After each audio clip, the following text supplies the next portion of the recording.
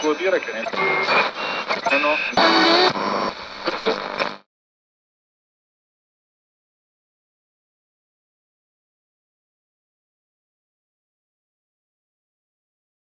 It sounds a bit corny, but I really feel a, an affinity with the oceans. I literally stumbled on uh, a handbook entry in the science handbook with a lovely picture of a wave, an incredible barrel, and it, it was talking about the physics of the oceans. And I, I'd never heard of this field of science before, but I was delighted to, to see something that combined maths and physics with my love for the oceans. And it's a, it's a, it's a narrow field. There aren't many of us, but it's a really fantastic field to work in.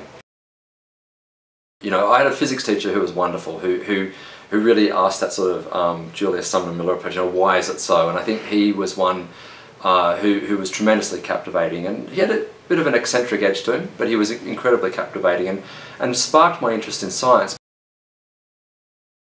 Things I'm passionate about is science communication, so I might have done something like make documentaries or travel the world looking at parts of the of the oceans or the natural system. Well, actually, I always dreamed of being a marine biologist, but I never did biology. Misunderstanding about what we know and what we don't know. So, scientists work at the levels of the uncertainty of any problem. For, for oceanographers and climate scientists, we don't go and redo John Tyndall's experiments to look at how greenhouse gases uh, trap radiation, trap heat. We know that physics um, really well, and we want to look at the uncertainty the things we still need to find out about, if you like. And so one of the problems with probably many fields of science, but certainly climate science at the moment, is that there's a real obsession with this being uncertain, that, that, that we think climate change is a problem, but it, it might not be a problem, and, and it's actually not at all true.